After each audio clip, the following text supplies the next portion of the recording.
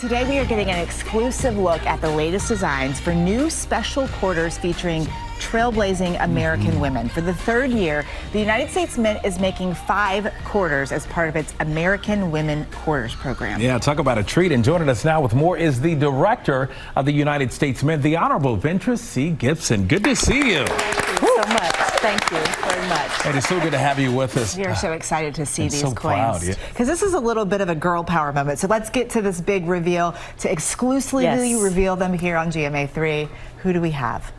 Here we have Celia Cruz.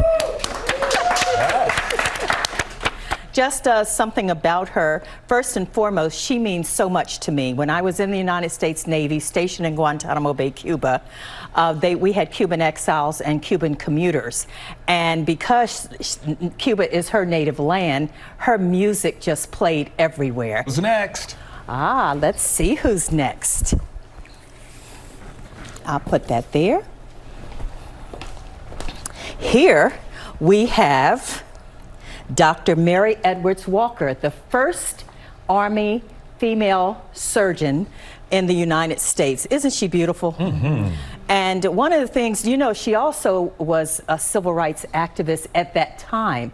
But more important about her, she also was a spy, and she would routinely cross lines to save our soldiers. Yes. Right, let's look at this next one. I'll get this one for okay, you. Okay, thank you. Ah, uh, and nice. this is Zitkala Saw, Native American, and her claim to fame is not only uh, her name meaning red bird, but she wanted to make sure that the rights of Native Americans transitioned equally to the rights of every other American. All right, we have two yes. more, Madam Director. We're almost out of time. So almost out of time, running fast. Okay. Oh my goodness. And look at this. This is the Reverend Doctor. Reverend Dr. Pauli Murray. Sex and discrimination, sex and racial discrimination was her defining contributions as a pioneer, and she fought hard and she did a lot to change uh, rights for those who were in the LGBTQ community. We have one last one here. Yes.